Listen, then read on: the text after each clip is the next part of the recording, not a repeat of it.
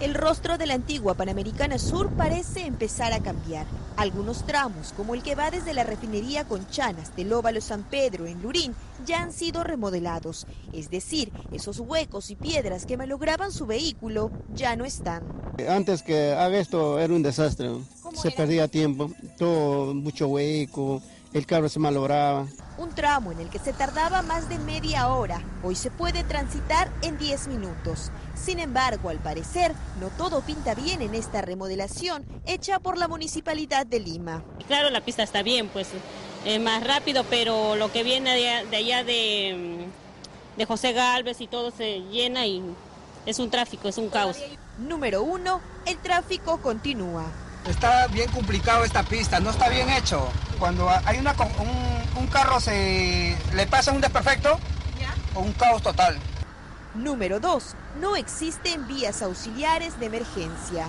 no hay ni un semáforo, no hay ni un este, no hay este, ni un serenago que siquiera que pueda que pueda guiar a los carros, pues en la noche, varios, hasta ahorita va un montón de accidentes. Precisamente este es uno de los problemas que ocurre en la antigua Panamericana Sur remodelada. No existen vías de señalización, ni mucho menos las líneas peatonales para que los vecinos puedan cruzar. Ellos tienen que sortear de esta manera los vehículos. La falta de señalización es el tercer, pero no último problema. y los puentes peatonales, que es muy importante. Todavía faltan. Ha habido accidentes, muertes, ha habido bastante acá este, en cuanto a accidente de tránsito. El tramo número 3, aunque todavía faltan varios detalles, ha sido remodelado.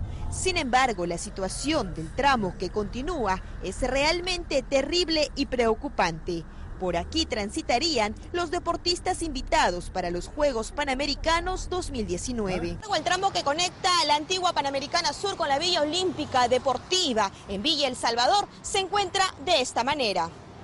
Huecos, polvo y tráfico. Todos los males juntos convierten a este tramo de más de 15 kilómetros en un verdadero caos. Aunque aquí se está ejecutando la remodelación, los trabajos van contra el reloj. Quedan siete meses para que los 6.680 deportistas de 41 países circulen por esta vía al dirigirse hacia sus alojamientos. Las siete torres de 20 pisos que conforman la Villa Olímpica en Villa El Salvador. ¿Cambiará o no el panorama de este tramo de la Panamericana Sur? Las autoridades municipales confían en que sí. Aseguran que esta vía de pura trocha, en la que uno puede tardar hasta dos horas, pronto será transitada solo en 15 minutos. El tiempo, que ya parece quedar corto, lo dirá. Bien, y hablando